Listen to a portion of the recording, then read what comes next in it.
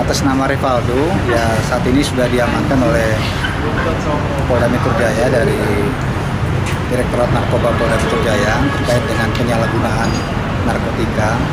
Ada barang bukti yang kita amankan yaitu di antaranya uh, klip yang diduga uh, bekas penggunaan narkotika jenis sabu maupun uh, ada barang bukti ganja serta uh, ada beberapa bukti implementasi yang kita amankan. Kemudian saat ini sedang kita lakukan pemeriksaan dan pendalaman. Yang bersangkutan kita amankan di Polda Metro Jaya. Yang bersangkutan ini berdasarkan data yang kita miliki eh, merupakan residivis ya, artinya sudah pernah juga melakukan kejahatan yang sama ya.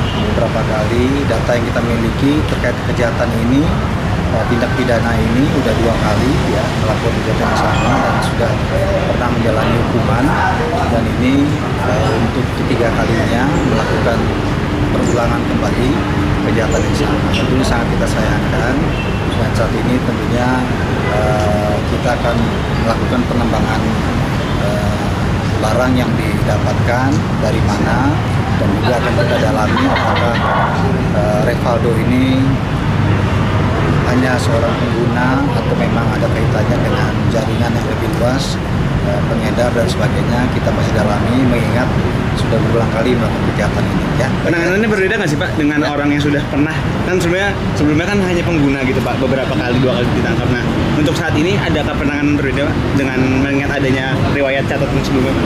Makanya nanti kita dalami dulu hasil pemeriksaan nanti akan kita sampaikan kemudian ya kita belum bisa sampaikan sekarang ya.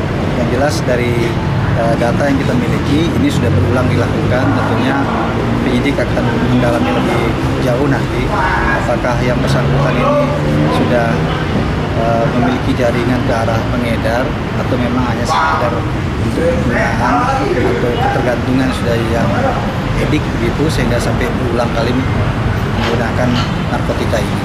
Ya, Mas ya.